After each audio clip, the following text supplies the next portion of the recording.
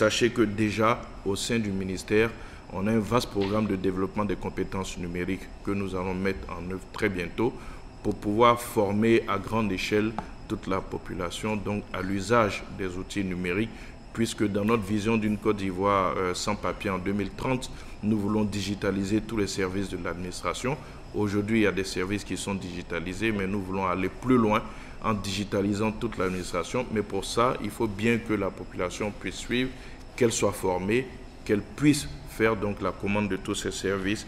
digitalisés.